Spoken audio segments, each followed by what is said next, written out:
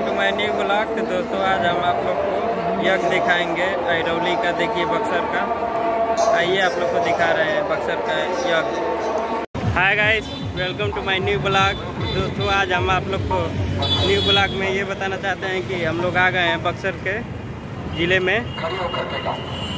ऐरौली रात भर रुके थे और चल रहे हैं फिर यज्ञ में देखने के लिए। देखिए ये। रोड पर। चलिए तो आप लोग को जग दिखा रहे हैं। बहुत ही शानदार जग हो रहा है, बहुत ही बड़ा। पहली बार ये अभी जा रहे हैं हम लोग। चलिए तो आप लोग को एकदम मस्त जग दिखा रहे हैं, बहुत बड़ा जग हो रहा है। तो तो देखिए, मेला स्टार्ट हो गया है। अभी बहुत दूर हम लोग को जाना है। बहुत पहले से ही मेला स्टार्ट है क्योंकि बहुत बड़ा जग हो रहा है ना। देखिए ये। ये दोस्तों तो देखिए हम लोग पहले गेट के यहाँ आ चुके हैं। देखिए ये पहला गेट है अभी। अभी तो बहुत काफ़ी दूर जाना है हम लोग को। ये दोस्तों तो हम लोग पहुँच चुके हैं मेन गेट के पास। आइए देखिए। देखिए मेन गेट है। देखिए कितना भीड़ है। आइए आप लोग को आगे चलकर दिखा रहे हैं।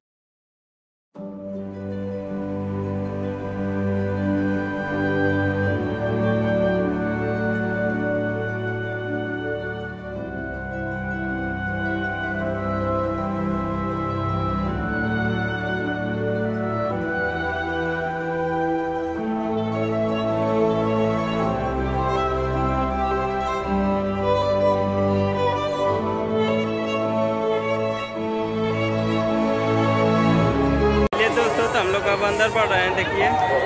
आइए, आप लोग को भी दिखा रहे हैं। अब अंदर चल रहे हैं हम लोग। चलिए दोस्तों तो हम लोग गेट के अंदर आ गए हैं, देखिए। ये नज़ारा है गेट के अंदर का। आइए, आप लोग को बैक कैमरा से दिखा रहे हैं।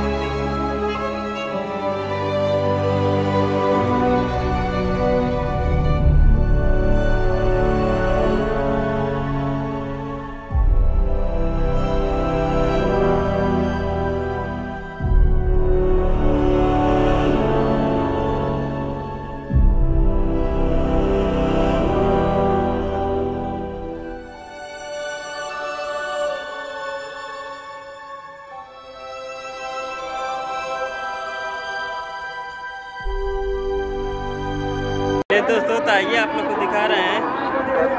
कुंभ का स्टेज बड़ा है, बहुत ज़्यादा बड़ा बना है। यहाँ पर सभी गायकर आ चुके हैं। हमको लेट हो गया था, नहीं आ पाए।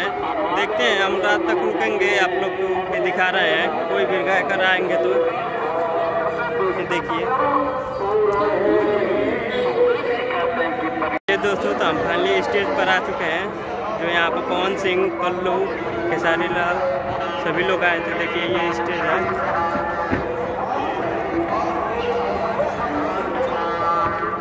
यहाँ पर रात को प्रोग्राम होती है।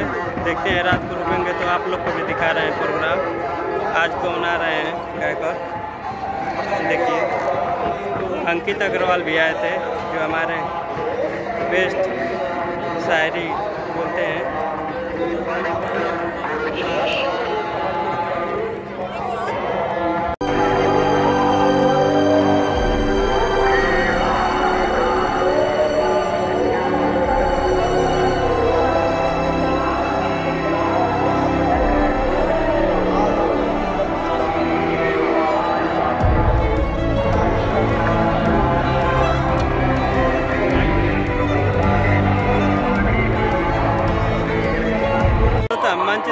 चुके हैं। देखिए और थोड़ा टीका उका हम भी लगवा लें। क्योंकि आए हैं तो टीका लगवा लें। आइए, आप लोग को भी दिखा रहे हैं। दोस्तों तो हम टीका उका लगवा लिए हैं। आइए, आप लोग को दिखा रहे हैं। अब जग की तरफ़ चल रहे हैं। देखिए इधर। भीड़ अभी बहुत ज़्यादा नहीं है, उतना भी, तभी भी है भीड़।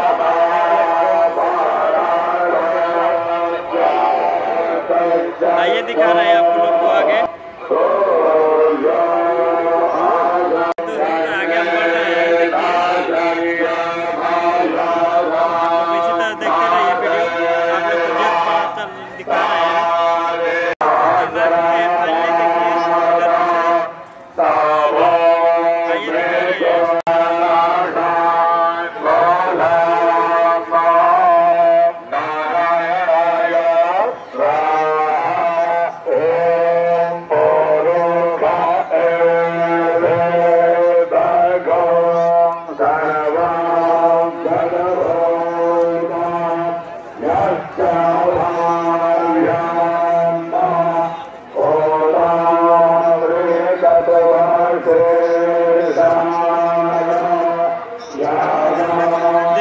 फेरा लगा रहे हैं हम भी चल रहे हैं थोड़ा सा फेरा लगा लें।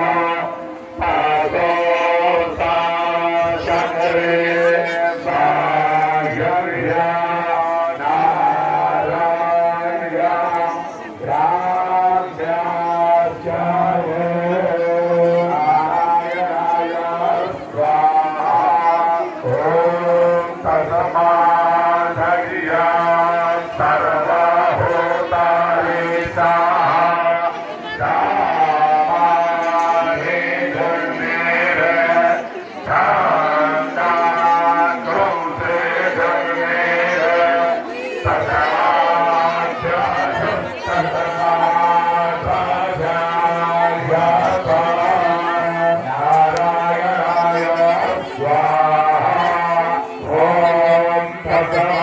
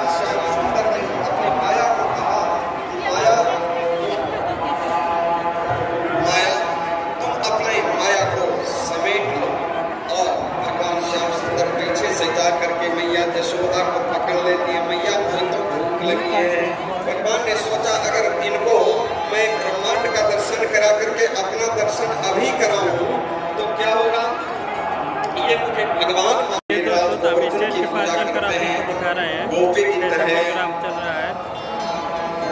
भी इधर उधर करते हैं। मैया यशोदा रस्सी बांधती हैं ओखल में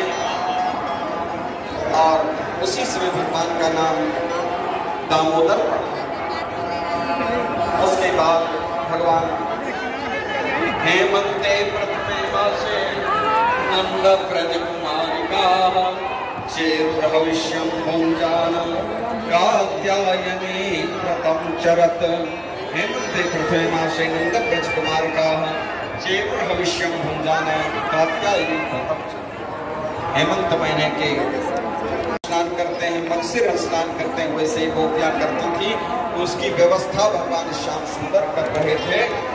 भगवान श्याम सुंदर को कहा और उसी समय हम भी। कात्यायनी देवी से कहा, जाएँगे। कात्यायनी महामाय महायोगिन्यधीश्वरी नंद गोप सुतम देवी पतिम में कुर्ते मनस चक्रे योग माया उपासिका गोवर्धन वगैरह की पूजा कराई गिरिराज गोवर्धन की पूजा हमारे वृंदावन में बहुत ही विस्तृत रूप से होता है बहुत ही विस्तृत ढंग से अमावस्या के बाद प्रतिपदा से पूर्णिमा तक पूजा होती है। गिरिराज का पूजन हुआ। छप्पन प्रकार का हम लोग लगाते हैं अन्नकूट। उसी को अन्नकूट करते हैं। इसी को गोवर्धन पूजा करते हैं और उसी को छप्पन भोग करते हैं। हम लोग वृंदावन में भी करते हैं। भागलपुर में भी हमारा आश्रम है। भागलपुर में भी हम करते हैं। चेन्नई में भी हमारा आश्रम है एनएससी बोस रोड में 125 में। तो वहाँ भी हम करते हैं। ये कई कई अलग अलग तिथियों में सब जगह होता है और अभी अन्नकूट उत्सव करके ही मैं यहाँ आया था कथा कहने के लिए। तो भगवान भगवान वितारात्रि यहाँ भगवान को माया की आवश्यकता पड़ गई। माया की आवश्यकता पड़ गई। भगवान वितारात्रि सर्दोत्फुल्ल मल्लिका वीक्षरन्तुं मनश्चक्रे योग मायाम उपासिता। व्यास जी लिखते हैं, भगवान भी योग माया की उपासना करके? कभी कभी भगवान को भी भक्तों से काम पड़े। जाना था गंगा पार प्रभु केवट के नाव चढ़े। कभी कभी भगवान को भी माया की आवश्यकता पड़ जाती है। यहाँ पर व्यास जी लिखते हैं, योग मायाम उपास्यता। आवश्यकता पड़ती है, क्योंकि संपूर्ण संसार में चाहे माया हो, प्रकृति हो, जीव हो, ये सब तो उनके ही सेवक हैं, उनके अंग हैं, उनके अंश हैं। वो जब चाहे जिसको अपनी सेवा में लगा लें जब चाहे अपनी सेवा से हटा। ये उनकी इच्छा है। वो सर्वतंत्र स्वतंत्र हैं। परम स्वतंत्र न सिर पर कोई उनके सिर पर कोई नहीं है। वो भोग्य है भो, वो भोगता है हम भोग्य हैं। वो सेव्य हैं हम सेवक हैं वो साध्य हैं। चलिए दोस्तों तो आप बक्सर का जग देख लीजिए आप लोग और वीडियो को कमेंट कीजिए। चैनल पर नए हो तो सब्सक्राइब कर लीजिएगा। फिर मिलते हैं आप लोग को नेक्स्ट ब्लॉग में। रात भर आज यहीं पर रुकना है। रात का भी प्रोग्राम आप लोग को नेक्स्ट ब्लॉग में मिलेगा। तब तक के लिए बाय